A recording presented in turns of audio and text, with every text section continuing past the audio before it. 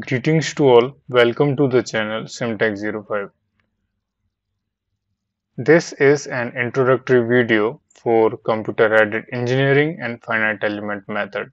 In previous videos of the playlist, the playlist name is Abaqus from Basic for Beginners.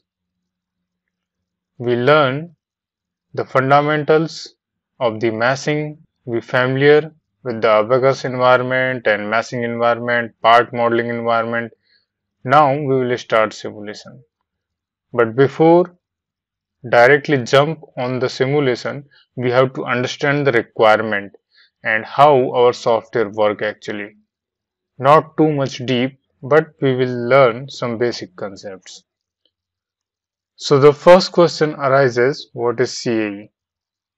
If I explore the CAE, it's nothing but computer-aided engineering. Engineering fundamentals and problems that we can solve with the help of computer is nothing but your computer-aided engineering. So basically it's a virtual technique. Why we are saying here virtual? Because even before phenomena or process take place, we can check it virtually within the computer.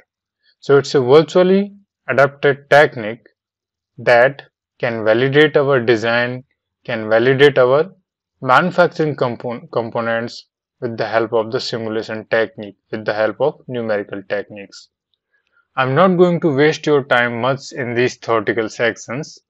You know it very well. Like we can reduce the physical testing, we can save our money, and it is the most important tool for the research and development program or research and development department. Why? Because before even manufacturing the component, before even the process take place, we can check it. And if we found any error or our design or assembly not meet the criteria, then we can modify within the development stage itself. That's okay. That's the theoretical portion. Now come to the original concept of the CAE. Yeah, of course, the CAE we need to solve engineering problem with the help of numerical techniques. See, we have computers and the good thing about the computers, they can solve any problem very fast. But these computers have one problem. What is that problem? They can solve only things within the binary language. Means computer can understand only the binary language. But in our real life, the problems are not in the binary language. Somehow, we have problems, we can formulate the problem with the help of ordinary differential equation or partial differential equation or maybe some simple algebraic equation forms. But these equation computer cannot read directly. So do we have some options, some way, some method to convert those differential equations into binary language. And can we take advantage? Yes, we can take advantage of computer with the help of matrix. Here we have one example. The stiffness of any object, any component can be given in term of matrix. And this stiffness may be function of material, may be structures, size and shape. So how we can do such conversion? That is the major point here. Because once we convert our governing equation in form of matrices, then our CA tool with the help of computer can solve our governing equations very easily. And in mathematics, these governing equation may look like mx double dot plus cx dot plus kx equal to some function See, here I represented M as a matrix, C as a matrix, K as a matrix, and these are the vectors. But these equations not look like same in the numerical technique. In numerical technique, in numerical methods, these equations look like something different. Actually, this is nothing but expansion of this form. So there we have two major questions if we have any engineering problem and we want to solve that engineering problem with the help of computer we have to convert that problem in form of matrix. So question is how we can convert our governing equations in form of matrix? And answer is with the help of discretization or in other word we can say by the meshing. The discretization not only the way, okay, after discretization we have some methods to convert our governing equation in form of matrix. We will talk little bit about that. And once we have those governing equations in form of matrix, how we can solve those equations? Matrix forms. The answer is numerical methods. So now we will talk little bit about the discretization and converting a governing equation into matrix form. This we can do with the help of simple approach, principle of virtual work and Rayleigh-Ritz method. But there is problem with the simple or direct approach. This approach is applicable only for very simple type of problems. See, once we mesh the component, we have small small particles, small small elements and with the help of those elements, we are actually converting irregular shapes into regular shapes and we are locally approximating the original complex equation at the elemental level. Earlier we have governing equation for the complete component that may not applicable for the arbitrary structure but for the small regular pieces we can locally approximate the original complex equation at the element level. So we may have multiple elements, we may have thousand or lakhs element within our model. So finally we will get a set of equation and these equations may be algebraic set of equation, ordinary differential equation or maybe partial differential equation that depend on sorry depend on our problem. So again the direct approach principle of virtual work method those methods or Rayleigh-Ritz method convert an governing equation in form of matrix equation. The mathematics behind those methods are not that much easy but once you familiar with these methods you can form the stiffness matrix and integral form of governing equation for the simple problem manually and for complex problem you may need to utilize some programming tool like MATLAB. Okay, if you want to learn more about these approaches mathematically, a generalized governing equation into form of matrix and how they can find or how we can find the stiffness matrix with the help of these approaches you can follow the NPTEL lectures and Rayleigh-Ritz method is having two way. One is classical form and one is FE form. And good thing the Rayleigh-Ritz method is uh, strong form. You may listen about those strong form and weak form. The strong form where we have differential equation plus boundary conditions for the functional and weak form. Only we have differential equation for the functional. In the strong form the condition meet at every point within the solution space or we can say at every material point and in the weak form these conditions need to meet only in the sense of average form. Not necessary to meet the material point material conditions at each and every point. You may listen one more technique, you may heard about that, Galerkin method. If Rayleigh-Ritz method is uh, based on potential energy approach and it's a strong form, then why this Galerkin method is exist?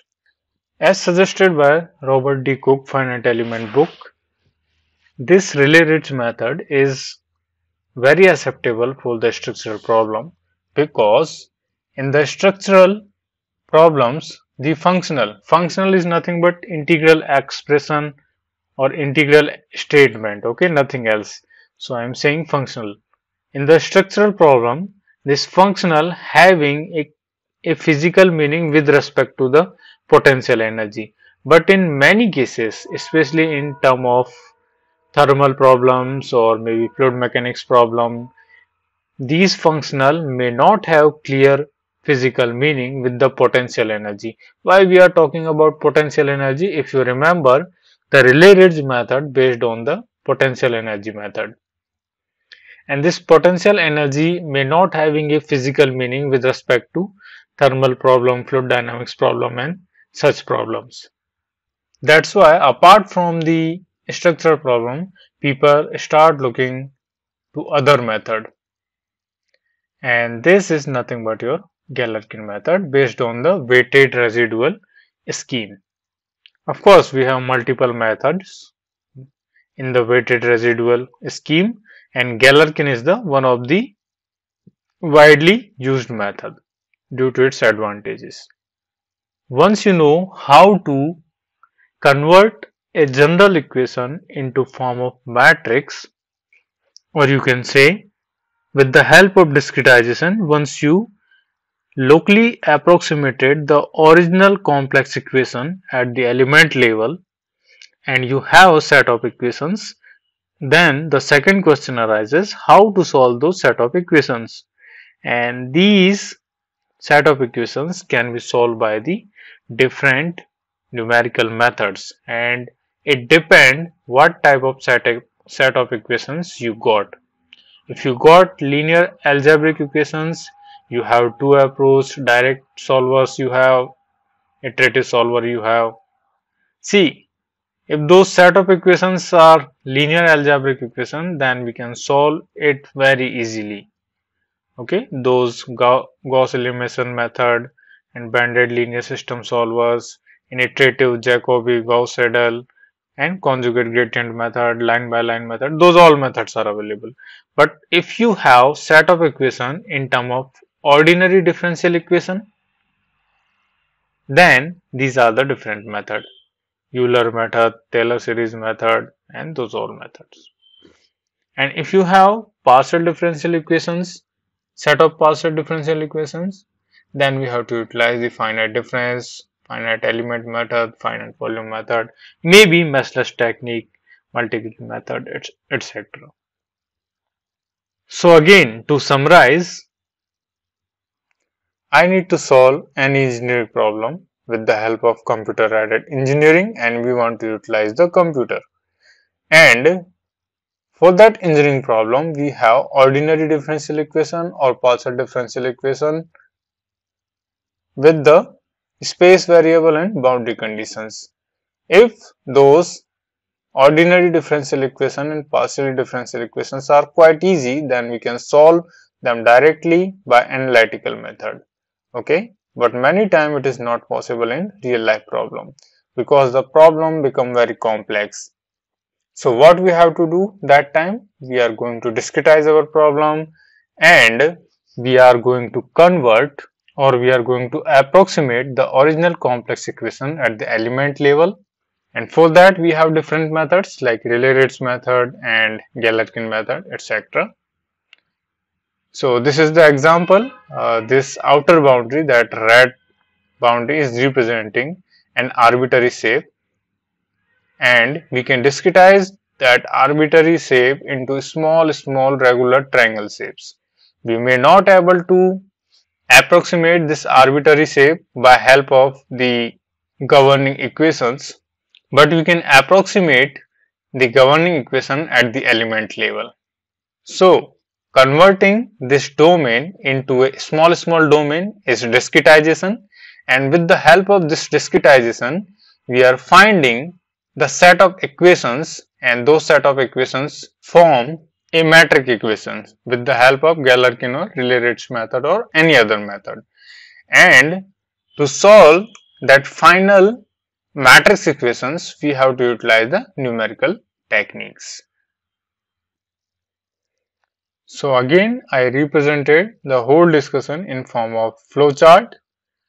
If we have problem domain, of course, we can generate some analytical algebraic equations or partial differential equation, ordinary differential equations for the problem like someone provide the growth factor in the y with respect to x we can organize them as per the given boundary conditions and we can generate a algebraic equation for that. Similarly, we can generate partial differential equation or ordinary differential equation depend on the problem statement. Of course, we have here space variable and boundary conditions. But if those equations are not very easy to solve for the particular domain, means our domain is very arbitrary, it's not a regular domain, then we have to subdivide it, we have to discretize the domain and we have to convert the domain into small small particles, those particles are called element. And why we are doing this? Because we want a regular shape on which we can apply the governing equation. So again for that we are locally approximating the original complex equation at the element level. So once we done with it discretization see we have discretization and after that we will get the element so after subdivision we will get set of equations. Earlier we may have special derivative that may not able to that we may not able to solve very easily but right now we don't have such any special derivative and this we can do with the help of subdivision we can find out the set of equations with Galerkin or Rayleigh-Ritz method See, I am taking here only two name. It's not been only those two methods. You can utilize number of methods for the same. And once you have set of equations, we have to solve them. If those are the algebraic equations, we have different method. If they have ordinary differential equation or partial differential equation, we have different method. In general way, if the problem is a steady state problem, we will get the algebraic set of equation. And if the problem is transient problem we will get the ordinary differential equation set. And just for example again Gauss elimination method you can utilize here and here Euler method or another method you can utilize and these things we not need to do manually computer take care of these all things of course, subdivision, discretization we have to do manually, but nowadays discretization also automated. So here we have an example for the Gauss elimination method. Of course, you may able to find this Gauss elimination method very easily. I always suggest to utilize the NPTEL lectures. This example taken from Practical Finite Element Analysis book by Nitin Gokhale sir in page number 69. So very simple bar element is taken and for the bar element both Rayleigh-Ritz and Galerkin method applied and finally the stiffness matrix is written as well as the complete equation in form of matrix is written that we can solve with the help of manual methods or computer. okay there should be numerical different numerical techniques to solve any problem so of course we have finite element method that approximate the solution of partial differential equation by numerical integration approach and wide range of application is available for that within the one figure you are able to understand the difference between FEM, FDM and bound element method FEM is quite common approach to solve any arbitrary shape, but FDM is limited to regular shapes. Because FDM utilizes the difference method, it finds the solution on the nearby point with the help of gridding scheme. So that's why the regular meshing is very important for the FDM procedure. And the boundary element method is utilized when you are interested to see result only on the boundary of the outer boundary of the domain. You are not interested within the domain. What happening within the domain it's not important for you. And finite volume method that we have to utilize for the problem where consideration of volume is more important rather than the structural properties Application are all fluid related problem and here for the boundary element method applications are NVH noise vibration and harshness type of problem. Yeah as I told you are interested only on the boundary of the domains not within the domain because within the domain the result is very poor and as we have one question, can we utilize one technique to solve another type of problem? Of course, we can utilize. Like finite element method also can be utilized to solve the fluid type of problem, boundary element type of problem, means NVH application or CFD application. But that may be computationally inefficient or less efficient So that's all for this video tutorial. In next video, I will try to take one problem, one simple problem that solution or analytical solution is already available and same problem we will try to formulate in our CAE software Abaqus and we will try to match the results or if we have any difference in the result, why it is. Thank you for listening. If you want to join the Simtech channel, Facebook or WhatsApp group, you are most welcome to join. Link is available in the video description. Thank you again.